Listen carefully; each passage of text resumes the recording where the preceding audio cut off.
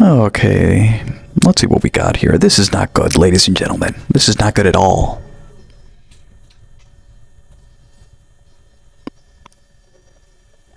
Incision and drainage.